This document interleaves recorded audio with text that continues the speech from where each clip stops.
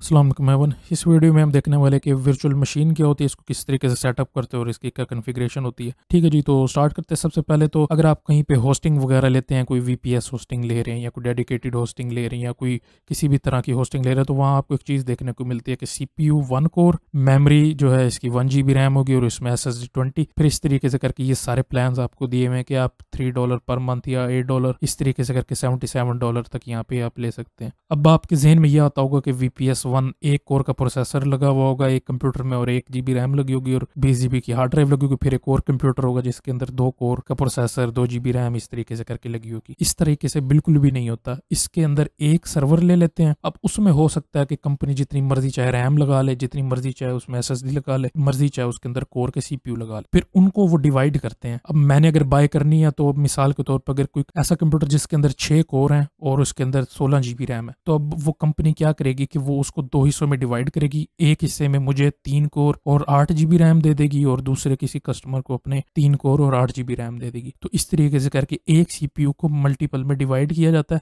ताकि वो आगे अपना कस्टमर या बिज़नेस वगैरह आप स्टार्ट कर सके। बिज़नेस के अलावा भी और भी एप्लीकेशन होती हैं, वो आप कर सकते हैं।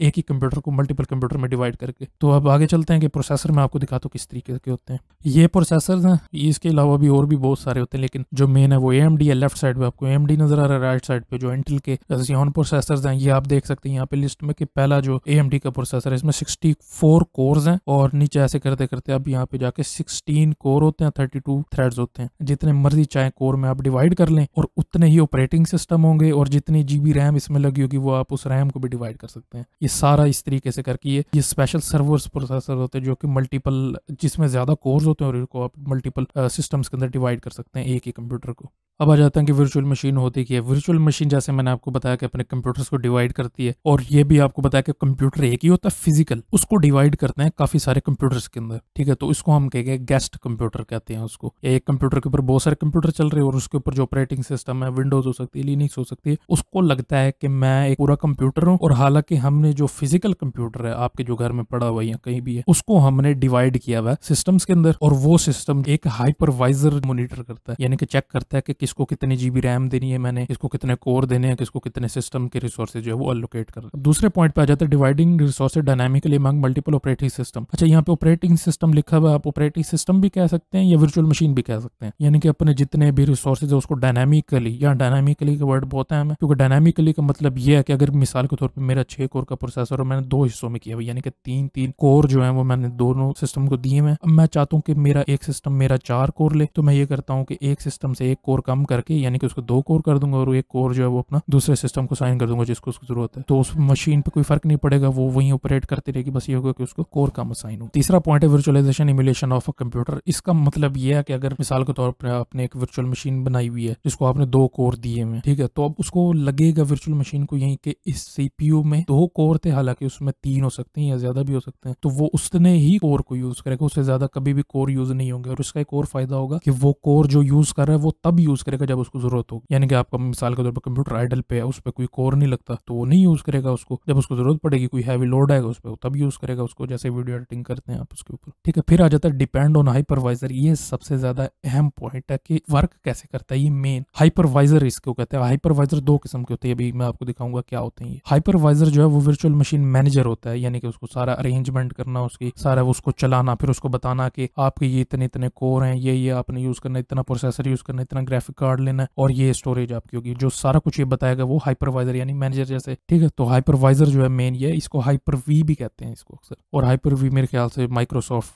विंडोज़ के अंदर इस्तेमाल होती है। फिर आ जाता है बेयर मेटल हाइपरवाइजर और होस्टेड हाइपरवाइजर ये दो बहुत अहम पॉइंट हैं। ये जो है हाइपरवाइजर की किस्में हैं, ये दो तरह के होते हैं अभी आगे भी मैं आपको इसको पूरा एक्सप्लेन करूँगा। तो बेयर मेटल हाइपरवाइजर यूँ होता है कि जो हार्डवेयर है, मिसाल के तौर पर मेरा कंप्यूटर है, उस पर मैं कोई ऑपरेटिंग सिस्टम नहीं करूँगा, मैं डायरेक्ट हाइपरवाइजर इंस्टॉल करूँगा, उस हाइपरवाइजर से मैं वर्चुअल मशीन बनाऊँगा और उनके ऊपर ऑपरेटिंग सिस्टम इंस्टॉल करूँगा। और होस्टेड हाइपरवाइजर ये होता है कि मेरे कंप्यूटर में जैसे आप वीडियो देख रहे अगर अपने कंप्यूटर पे तो आपके कंप्यूटर पे विंडोज़ इंस्टॉल है तो आप उस विंडोज़ के ऊपर हाइपरवाइजर इंस्टॉल करेंगे और हाइपरवाइजर ऐसे सॉफ्टवेयर जैसे आप, जैसे प्रीमियर प्रो इंस्टॉल वगैरह करते हैं, उस तरीके से सॉफ्टवेयर इंस्टॉल करेंगे और उसके ऊपर ऑपरेटिंग सिस्टम चलाएँगे। ठीक है, एक ये हो गई, ये दो। अब ये बिल्कुल यही सिंपल सी इसकी बात है कि बेयर मेटल में डायरेक्ट आपके हार्डवेयर पे चलते ऑपरेटिंग सिस्टम नहीं होता। फिर ऑपरेटिंग सिस्टम जो है वो आपके वर्चुअल मशीन पे चलते हैं और होस्टिंग हाइपरवाइजर होता है कि ये आपके डायरेक्ट विंडोज़ के ऊपर या किसी भी लिनिक्स आप यूज़ करें, उसके ऊपर इंस्टॉल होता है और वहाँ से आप फिर इसको यूज़ करते हैं, जो जिस, जो आगे हम अपने लिनिक्स सीरीज़ में इंस्टॉल भी करेंगे। फिर as the widely used in cloud computing अब क्लाउड कंप्यूटिंग में इसका क्या इस्तेमाल है? क्लाउड कंप्यूटिंग में होता है बहुत सारे कंप्यूटर्स जो है वो साथ कनेक्ट होते हैं और उन्हीं को ही आप यूज़ करते हैं। जैसे आपकी स्क्रीन पे आ रही है, कोई डाटा सेंटर हो सकता है जहाँ पे सारे कंप्यूटिंग होती है और ये सारा जो है ये सर्वर्स इस्तेमाल होते हैं। इसमें सारे सर्वर्स हैं। इन सर्वर्स के ऊपर हार्डवेयर होगी, सारी बात वो डिवाइडेड होगी, वो भी कोई ना कोई वर्किंग वगैरह जो है वो कर रहे होंगे इस पर फिर आ जाता है कि कॉस्ट इफ़ेक्टिव जैसे मैंने आपको बताया था कि शुरू में कि एक एक कोर का प्रोसेसर एक भी दो जी बी रैम और ये। अब बार बार अलग अलग कंप्यूटर लेने की आपको ज़रूरत नहीं आप एक ही सर्वर लगाएँ, उसकी बार बार आपको नए नए सिस्टम लाने की ज़रूरत नहीं आपको डाटा सेंटर कंप्यूटर से भरने की ज़रूरत नहीं है। सिंपल सिंपल सा सर्वर होगा एक, उसके अंदर बहुत सारे कोर वाला प्रोसेसर लगा होगा और उसको आप डिवाइड करते रहेंगे। फिर एज मल्टीपल होगा। जारी बात है, आपकी जितनी ज़्यादा वर्चुअल मशीन आप उस पर क्रिएट करेंगे, उतने ज़्यादा ऑपरेटिंग सिस्टम आप उस पर इंस्टॉल कर सकते हैं। फिर आ जाता है सिक्योरिटी सिक्योरिटी यूँ है कि आप अगर सिस्टम कोई खराब हो जाता है, आपको डर है कि यार मैं ये वायरस वगैरह का कोई सॉफ्टवेयर है, अगर ये आ जाता है मेरे सिस्टम में तो मेरा सिस्टम खराब हो सकता है। तो आप यूँ करते हैं कि एक वर्चुअल मशीन क्रिएट करते हैं। वर्चुअल मशीन के ऊपर टेस्टिंग वगैरह करते हैं। उसकी अगर खराब होगी तो वर्चुअल मशीन खराब होगी आप फिर उसको डिलीट करके दोबारा क्रिएट कर लें। फिर इसके बाद है स्प्रेड वर्कलोड आपका। जितना भी वर्चुअल मशीन जो आपकी जितनी इंस्टॉल होंगी, आपके चार सिस्टम है, चार सिस्टम के ऊपर वर्चुअल मशीन है तो आपका वर्कलोड जो है उसके दरमियान डिवाइड होगा सारा। इसकी सबसे अच्छी मिसाल ये दे सकते हैं कि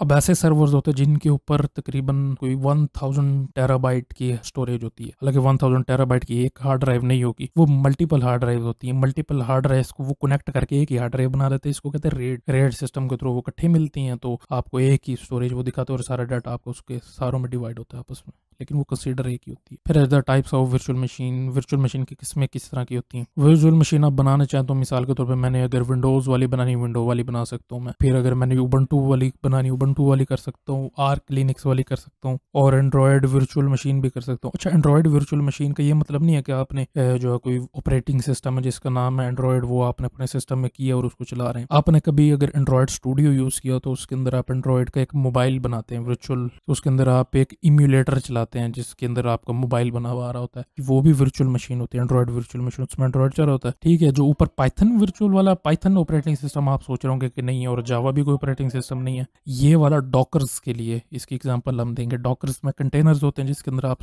इंस्टॉल किए होते हैं सॉफ्टवेयर को यूज़ इसमें भी फ़िलहाल डेप्थ में जाने की ज़रूरत नहीं, आप फ़िलहाल ही समझ लें किस तरह के आप क्रिएट कर सकते हैं। फिर आ जाती है कुछ ऑपरेटिंग सिस्टम इस तरह का लगता है आपका सर्वर होगा सर्वर पे आपने V M where E S x आई अब V M where E S x आई जो है वो इस पिछले वाले की, ये बेयर मेटल हाइपरवाइजर की एग्जांपल है। ये आप करते हैं V M where we fair भी एक है जो कि इसका मुतबादिल है V M where E S x आई का। अब ये हाइपरवाइजर के कितने टाइप्स होते हैं? हाइपरवाइजर जो है वो चार किस्म के हैं। जो लेफ़्ट वाले दो हैं, ये बेयर मेटल हैं और राइट वाले जो हैं, ये आपके जो होस्टेड हाइपरवाइजर वो। उस हाइपरवाइजर में V M where workstation player या आप अपने विंडोज़ पे इंस्टॉल कर लें या अपना जो लिनक्स पे इंस्टॉल कर लें और उसके बाद वर्चुअल बॉक्स है, इसको इंस्टॉल कर फिर इसके ऊपर इस्तेमाल कर सकते बहुत ईजी है और जो V M ware S X I और वी स्फेयर है, ये दोनों जो है सेटअप करना थोड़ा मुश्किल होता है। बाकी ये है कि ये आपकी जो मेन ऑपरेटिंग सिस्टम इसमें कोई नहीं होता, आप डायरेक्ट अपने सिस्टम पे इसको इंस्टॉल करते हैं। और इसके अलावा माइक्रोसॉफ्ट हाइपर वी होता है, जो कि पहले से आपकी विंडोज़ के ऊपर इंस्टॉल होता है। आपको बाकी जो राइट वाले हैं V M where workstation और वर्चुअल बॉक्स इंस्टॉल करने की ज़रूरत नहीं होती, ये पहले से एक्टिवेट होता है। इसके लिए आपने करना है कि पहले अपनी बायोज में जाना है, वहाँ से जाके आपने हाइपर वी को एक्टिवेट करना है। उसके बाद अपने पीसी में आना है और यहाँ पे आके आपने turn features Windows feature on off इसको